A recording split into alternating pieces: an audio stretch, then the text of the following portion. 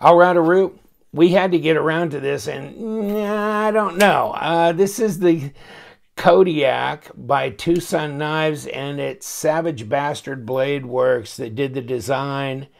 Um, it's got free floating bearings around this pivot, and it's got a crazy looking pivot. And it's like a front flipper, middle finger flick, back flipper, but I I don't find it that easy to flip. And we're going to get into it. We'll open it up and kind of take a look and see how this thing works. But I just like the design so well.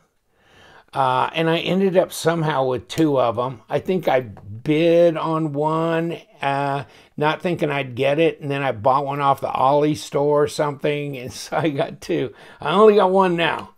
But yeah, I mean, this flipper tab here is so muted, you know. But I, guess you could say two stage flipper. I mean, for me, just like that. Now, uh, it's also a front flipper thing, so you can do that, and you can do that in, all in one flick. And then with the, oh, almost got it. With the fuller, you can finger flick it like that. Just interesting uh, design, and don't put my fingers on that blade. Oh, piece of paper, please. Let's check that out. 14C28N blade. Uh, I know that Mazwan uh, Mokhtar helped out on this, probably with the rendering of the design or something. But Bastard, Savage Bastard Blade Works was the main mojo on this. The 234, just incredible. Um, it's a thick brick. Let me let me let's get some of the stats on this thing. Yeah, 16 millimeters. Wow, 0.63. So you got that. Uh, oh, well, kick it open. And uh, three and a half inch blade, which is 90 millimeters overall, eight and a half inches, which is 21 and a half centimeters. Oh, get this back here. Let me do the blade. I don't know. Is that four, four millimeter? Nah, nah, it's not four. 3.6 millimeter at 0.14. So any of you guys got this, you could chime in on this. Tell me, what do you think? Well, they actually put Kodiak, the name on there. TS234. I don't remember I don't remember ever seeing a TwoSun knife with a model number on the blade. I don't remember that at all. So this is the first one I've ever seen like that, but it's got Mazwan's little moniker on here. Uh, well, let me see. Again, we're going to flip this open and kind of check out. Lockups 25 to 30%. Let's see the drop. Ooh, it's scary. I don't want it to hit me. But no, it doesn't. I mean, it'll let go, but then it'll drop like that as long as you got that uh, lock bar uh, pushed away, but uh, see what I'm saying? Now it keeps swinging, but I let go of that lock bar to complete it, and it and it it kind of sticks. So it's centered. I don't have any blade player lock rock. What do we got here? Oh, probably Savage Bastard on here. Uh, Blade Works. Uh, their badging as well. So we got everybody's badging on here TwoSun, Mazwan, Savage Bastard, you name it. Uh, you know, the design flow is interesting. It's fine. I mean, this is a decision here to do a front flipper type of thing. Uh, blade to handle length is adequate. And you've got almost an integral look to this knife, don't you? And this ought to be interesting to take it apart because where do you take it apart at? Well, I guess you got to start here and then you got to screw there and underneath, God only knows where you go, right? How much does it weigh? Because it, it feels like a chunk. It feels fairly heavy for what it is. And yeah, it's 181 grams. Woo, baby. Uh, hmm. Let's roll back around ounces. 6.42 ounces. So that, that's pretty heavy for a six or eight and a half inch long knife. And it's really thick and you got a lot of metal in here, don't you? So uh, you got a big old recurve blade on there. I mean, it's really sharp. Recurves aren't my favorite, but I think they give you a lot of style points. I mean, the design look of a recurve is always intriguing to me. I guess you can get up close up here. Uh, this jimping up here is good for traction. Uh, ergo's pretty neutral. Um, kind of setting right here with my fingers. Uh, reverse grip's comfortable though. This one's not bad. It's just, I think I'm having to go ahead and hog the whole space there with that finger and then put the rest of them on there. Uh, pocket clip, titanium, reasonably deep carry. Um, not very springy, and I don't remember what it was like in my pocket. So, any of you guys that have the Kodiak or have had the Kodiak are welcome to chime in and kind of give me your opinion on it. Uh, maybe, I mean, both of the ones I had had about the same action, which it's not super fluid type action. See what I'm saying? That I don't have enough stroke on that flipper tab to really kick it. Ooh, close, close. I don't know if that'll improve over time. I like the carbon fiber on here. It's pretty showy. Not a lot of traction though. And, come on. Don't eat grandma's fried chicken before you try and do that, my friends. Fit and finish is good on this knife. Oh, I know what I was going to do. Check out my balance. Oh, there's my balance. Okay. And let it drop, let it drop, let it drop, let it cut my thumb off. And there goes, it's dropping. Yeah, I don't know what to make of it. It's just not as smooth and fluid as some knives. It's fascinating and it's amazing that it really rolls around as long as you keep your thumb um, knocking that lock bar to the side like that, pushing it aside, then not a problem. You let go of it, and it's a little tougher. So I, I was I was gonna get like something to put across here. You can, uh, but I'm just using pressure to unscrew this. Uh, whether I should or not, I don't know. I never like to screw my pivots down real too tight. Just enough to give me the right kind of action and make sure I don't have any blade play. So there's that. And what do we got inside? We don't know yet. Let's take this off. Okay. I've got a bit of trepidation here on what I'm going to find. Come on. Okay. Wow. We going to get it off? There we go. So we had, yeah, when you have these stems still up here, so high up in here, and you got this thing set way down in that carbon fiber, that really makes it difficult to do. And so let's see, we take this little carbon fiber scale off, and we got the carbon fiber scale off. And what do we got below?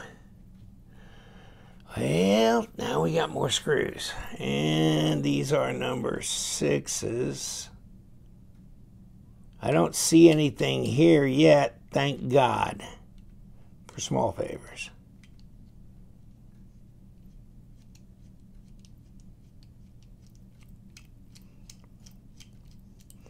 There's one screw. So these are these internal screws, and there's two of them. So, in case nobody warned you and nobody warned me, you might want to try and pull this thing apart and not know that you've got these internal. But looking at the fact that there's really no screws out here, you know you probably got some underneath. Okay, let's see if we can kind of slide you up and away. And I wonder if this is going to help.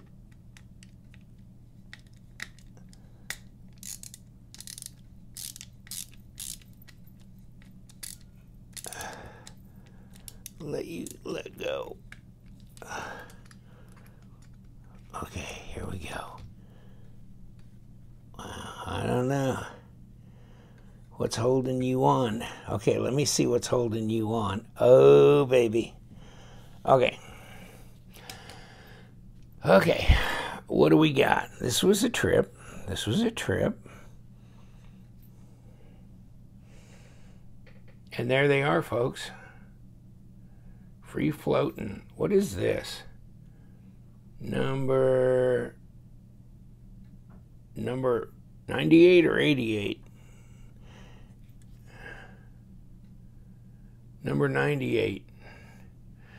Ceramic detent ball, ceramic bearings, and they're just, but they're kind of in a real heavy soup here. Uh, I don't know if we can improve, if we should try and improve on that or what. And let me pull this blade off. Okay.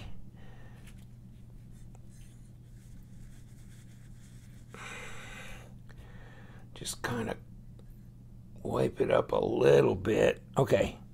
So what do we got? This is always an adventure, isn't it? Yikes.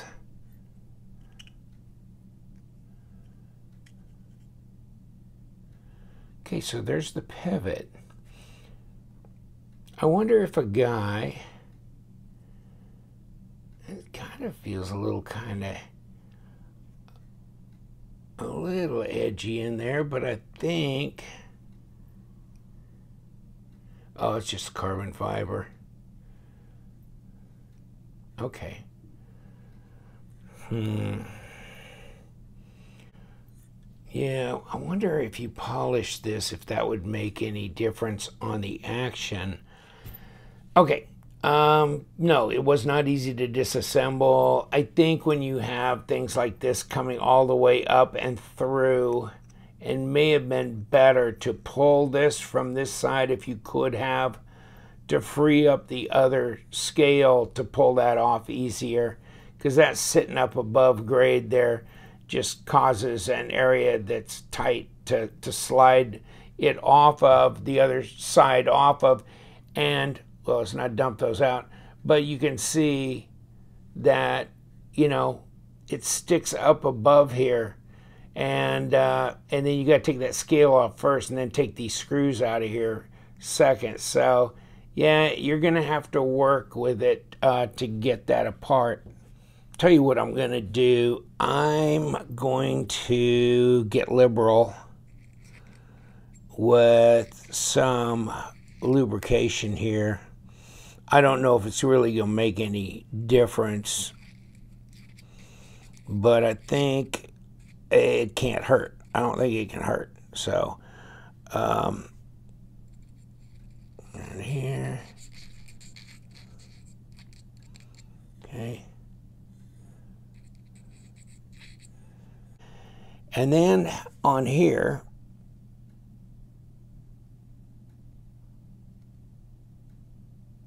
I like a little bit lighter lube than what these have been doing. And on this side the same way, I'm going to just put a drop on each one of these and I got to see what I'm doing.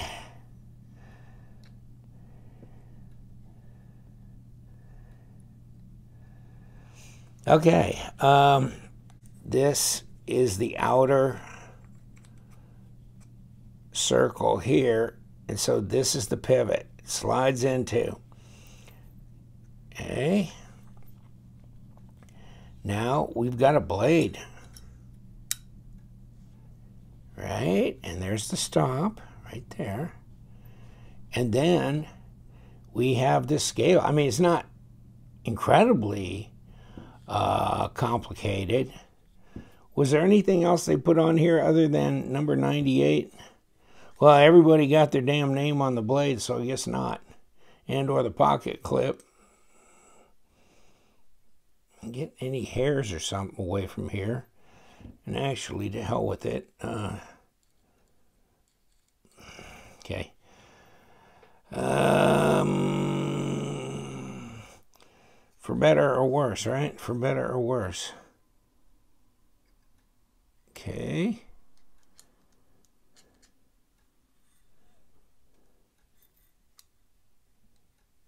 Get out of there.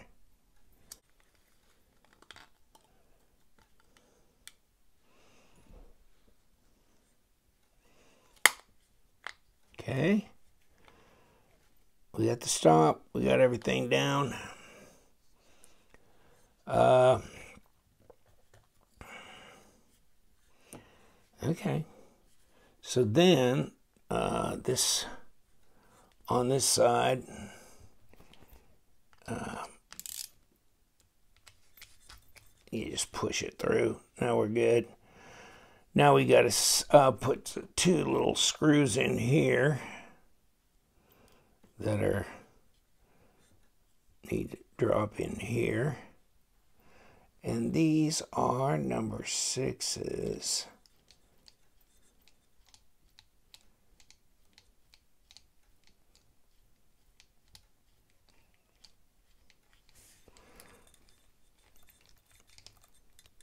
Okay. I just need to get engaged, and they don't have a lot of extra thread to do so. So I'm pushing and turning to make sure they make good contact. Okay. And underneath, they didn't have to give them any because they're flush. They didn't have to give them any break there. And so this goes back on here like this. And this is engaged. And so then this goes right on here.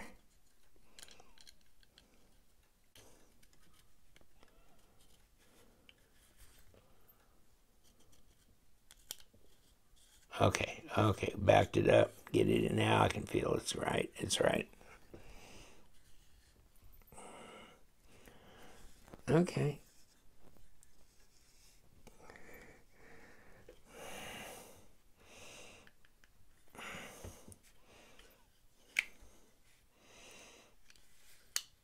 It's centered. Let's put the pocket clip on. I really fought long and hard with this pocket clip and so you probably are better to take this off first and then unscrew this and push that post down through there if you can. Um, and it's tight because I think I tried to almost distort some of the carbon fiber there, waggling it off. All right, we got it put back together. Um, yeah, I'm just not sure I'm feeling the whole system of how they did the bearings. I just don't think it's it's working that well. It's not working that well for me.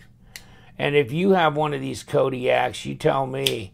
Uh, I don't think it's the most free flipping fluid knife. And when I looked at it, I thought maybe this would be really incredible in that in that regard, and it's not. It's not. So uh, if you're looking for something that's just absolutely a dream to front flip or to, or you know flip like this. Nah, this is not it. But it's an interesting design. Let me see. There you go. Just like that. Interesting design at the least.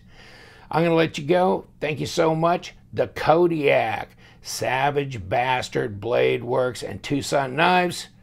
And you know what we do. We love them knives, so you guys stay sharp.